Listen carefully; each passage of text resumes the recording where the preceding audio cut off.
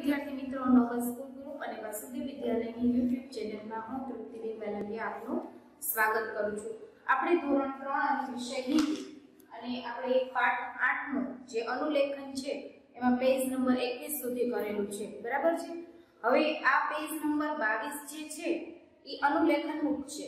જે શબ્દ છે એ તમારા વિદ્યાલયમાં આપ્યા છે, તમારે નીચે જોઈ જોઈ લખવાના છે. અહીંયા પણ એવું જ કરવાનું છે. અનુલેખનમાં વાક્યો તમારી જાતે તમારે લખવાના છે. અલ્પ વિરામ બરાબર કરવાનું છે. પેજ નંબર 22 અને પેજ નંબર 23 એ પણ અનુલેખન છે. જો જેવું લખેલું છે એવું જ આ લીટીમાં સમાડવાનું છે. શબ્દ શબ્દ બરાબર. છૂટા છૂટા અલ્પ વિરામ કરવાનું છે. અને અહીંયા હિન્દી અને ગુજરાતી સાથે કરવાનું છે. બરાબર? એટલે આ રીતના અનુલેખનનું જે પાઠ છે એ તમારે તમારી સ્વાની અંદર જાતે પૂરવાનો છે. હવે આજે આપણે શીખવા જઈ રહ્યા છીએ પાઠ નંબર 9 અને આ પેજ પણ અનુલેખનનો પાઠ 8 તમારે જોઈ જોઈને લખવાનો હોવાથી જાતે પૂરો કરવાનો છે. હવે પાઠ 9મો છે ઘડી. ઘડી એટલે ઘડિયાળ. તો બધાને ખબર છે.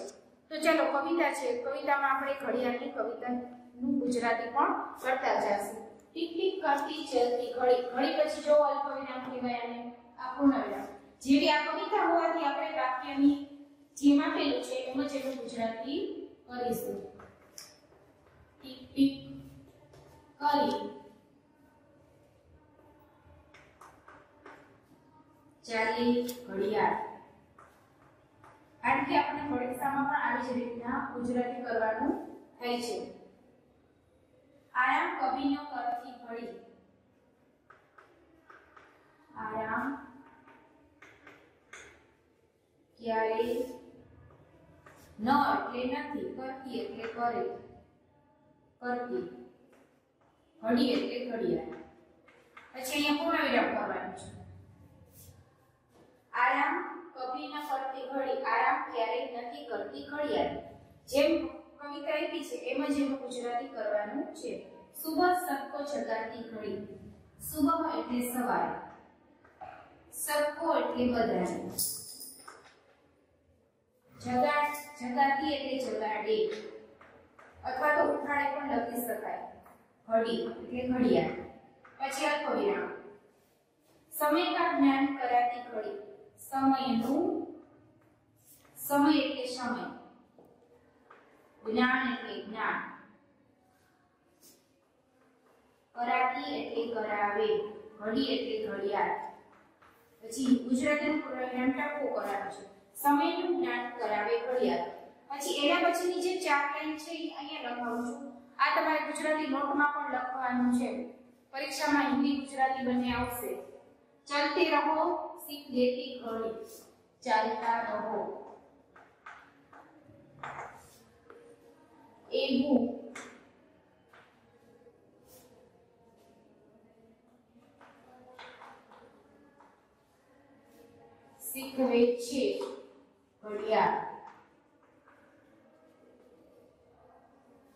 વક્ત સાંજ શીખાતી ઘડી. સમય વક્ત એટલે સમય વક્ત પણ લખી શકો છો અને સમય પણ લખી શકો છો. વક્ત આપણે કૌંસમાં કરી નાખી સમય એનું ગુજરાતી રાખીએ.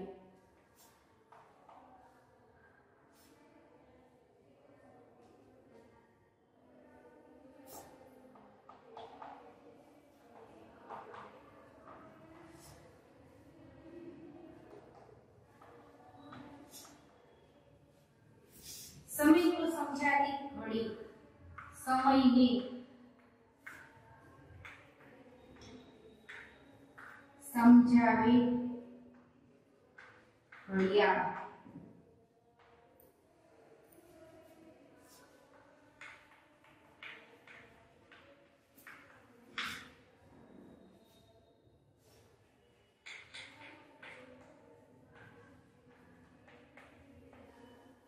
ટીક ટીક કરી ચલતી ઘડી ટીક ટીક કરી, ચાલે ઘડિયાળ. તો આવી રીતે આ ઘડિયાળનો પાઠ છે કે એમાં શું કીધું છે કે ઘડિયાળ સમય બતાવે છે. દરેક કામ સમયસર કરવા જોઈએ. આપણને સ્કૂલે જવાનું ક્યારે ખબર પડે કે જ્યારે ઘડિયાળમાં કાંટા આપણને બતાવે, ત્યારે એટલે એ આપણને શું કહે છે કે સમયનું જ્ઞાન કરાવે છે કે સ્કૂલે જવાનો સમય થઈ ગયો છે.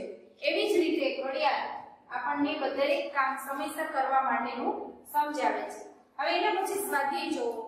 સ્વાધ્યાયમાં જોવો કૌંસમાંથી યોગ્ય શબ્દ પસંદ કરીને ખાલી જગ્યા પૂરો. હવે કૌંસમાં જો ખાલી જગ્યા બે આપ્યા છે. ઓપ્શન એમાંથી સાચું શું છે? એ તમારે પાઠમાં જોવાનું છે અને કરવાનું છે. ટીક ટીક કરતી તો શું લખશું? ખાલી જગ્યામાં ચલતી.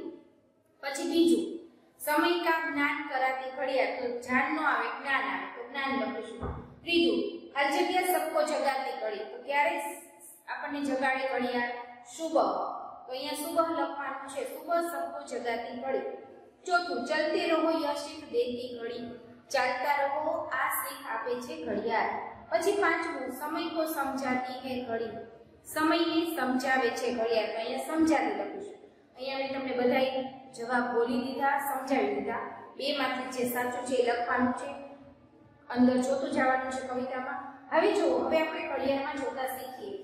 ચાલો ત્રીજા ધોરણના બાળકોને ખૂણાને ઘડિયાળમાં જોતા આવડતું નથી. અત્યારે સમય ઓછો હોવાથી આજે ચાર ઘડિયાળ આપી છે. એ ચાર જ ઘડિયાળ આપણે શીખીશું. નકર આપણે આપણે ઘણી વખત ઘડિયાળ બોલી દો અને બતાવીએ છીએ કે આમાં કેટલા વાગ્યા છે, પૂછીએ છીએ.